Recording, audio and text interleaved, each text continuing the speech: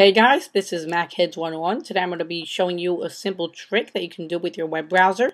It works with um, both Safari and Firefox, but I'll just be demonstrating to you in Firefox. So um, basically what this trick allows you to do is edit any web, web page, not permanently, but temporarily. So um, I have it copied. Um, I'm just going to paste it right here. You can find it in the description of our video. Basically, it's JavaScript colon document dot body dot edu dot content editable equals um, quote true quote semicolon space document dot design mode equals quote on quote semicolon space void zero. Basically, JavaScript means JavaScript. It's a document body, meaning the body of the the body of this web page, meaning whatever all the content is on, is editable. True means yes, it's editable. Uh, design mode just means instead of being edit able to edit the code, you can edit it in a graphical interface. So now if I just press enter, it'll look the same, but it's editable. So, for example, I can uh, drag the Google thing around however size I want. I can just press the delete to get rid of it I can find some pictures from my um, computer and um, drag them in. I'm not going to be showing you that right now. You can change any text on it. So let's say instead of Mac, I'll just say uh, at Apple Steve Jobs. So now if I were to make a tutorial like this, it would look like I'm Steve Jobs and that would be pretty cool and um, you can do this on a lot of websites.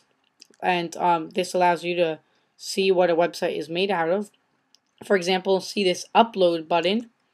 Well it's actually not an upload button. Same thing as this YouTube button and I'll get show you what I mean. If I paste this uh, you'll see that the upload is text. So how did they get that? And that square gets messed up if I delete it. Well if I click on this and I make it a little wider you'll see that all the YouTube buttons are, uh, you'll see there's the Google Chrome sign too, so, so that way this website can be different for Google Chrome. It'll be coming out for Mac soon. Um, and all the buttons, the subscribe button, the rate buttons, the um, comment buttons, every single button is right here. So this can allow you to see how people make their websites. And if you want to access this easily, you can just drag that down you can right click on it and then say either properties or rename depending on what browser you're in. And then you can just say instead of name you can say edit this page. And you can say save changes. So now I'm gonna go to like apple.com say edit this page. And uh this wait hold on. Gotta click on it and you can't edit most of apple.com because what Apple does is they make most of their thing images and their images just have whatever they want. But um if you if before with the old iPods thing you would see that the pieces that go over here are different. You'll see that these are all links and um yeah, it's just pretty cool to mess with a website. So um um you shouldn't mess with websites too much cuz um usually people work hard to make websites and so um, uh, if you mess with it then it'll probably look messed up.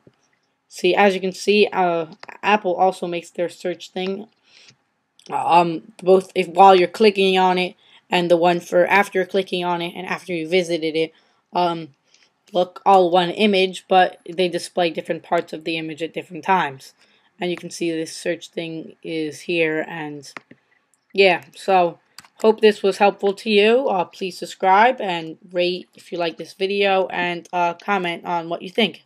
Have a nice day and goodbye